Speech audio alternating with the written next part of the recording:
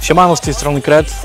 E, jesteśmy tutaj na Czarnym Placu. Chciałem Wam powiedzieć parę słów na temat imprezy nadchodzącej e, Summer Urban Vibe. Jest to druga edycja tej imprezy. Myślę, że warto się tam udać. E, jest to impreza dla amatorów mocno połamanych brzmień typu dubstep, drum and bass i pochodne klimaty.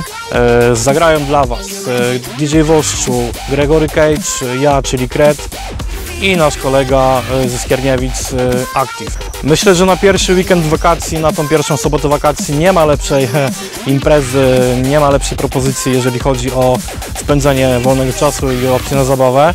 Można powiedzieć, że to jest before przed wielkim finałem akcji, Milka się przytula, bo tak, w niedzielę jest finał akcji, a w sobotę jest nasza impreza. Myślę, że warto się wyszaleć, a w niedzielę będziemy się przytulać.